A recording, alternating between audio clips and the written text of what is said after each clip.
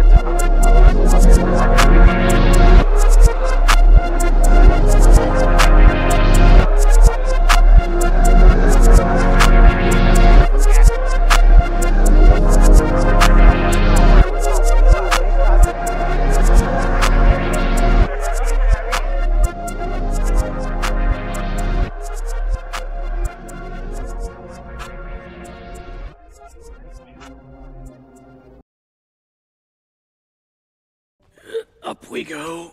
Well, what a surprise. Seems we both get to live another day.